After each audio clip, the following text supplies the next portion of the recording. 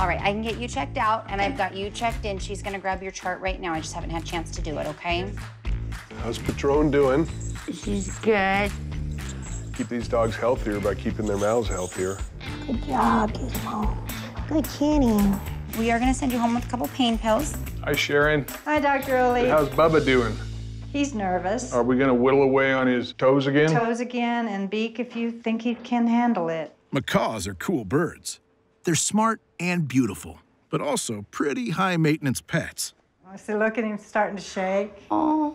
On Bubba the Macaw's last visit, he got so worked up that Doc Ole couldn't trim his beak. And that thing is no joke. We'll tip that beak because it's getting kind of long too. Macaws are flying bolt cutters. They got a big weapon up front and they bite. When they bite hard, they can inflict a lot of damage. It's all right, baby. The more we wait, the more we torture him. Right. So whenever you are ready, All righty. we are ready. We're going to do both the beak and the nails today. Doing both procedures is a little scary for both Bubba and me, but Dr. Ole knows what Bubba can handle and what he can't. Okay. Hang in there, bud. All right, buddy. No, no, don't bite mommy. Please don't bite mommy. That hurts.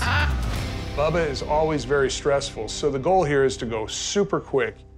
Normally, we let our techs restrain our patients, but in this case, he does better when mom's doing it for him.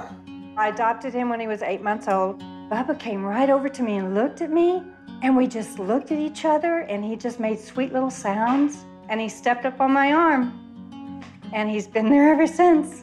All right, buddy. Okay, baby. This is kind of routine maintenance. In Bubba's case, we want to always minimize the time that we have him in our hands, obviously causing him stress. Hang in there, Pard. It's okay. We're almost done. All right, buddy. Okay, baby. It's okay, bud. It's okay. Shh. Yes, it's okay. Come I on, know, Bard. baby. I think a good veterinarian is one that tailors the treatment to the needs of the patient. Okay. All right, buddy. Okay, baby. We don't speak the same language. They don't tell me what they're feeling. They don't tell me where it hurts. So you got to read your patient so you know exactly the best way to provide treatment for them. Nobody's gonna hurt the baby boy. Okay, we'll do the beak. And I'm just gonna take, now, that's about as far as it'll go. Okay. You made it He made it. Again. Oh, he's already talking. How do those toes feel on your arm? Good. He handled it like a pro. He was panting a little bit, but nothing like he's done before. I was impressed.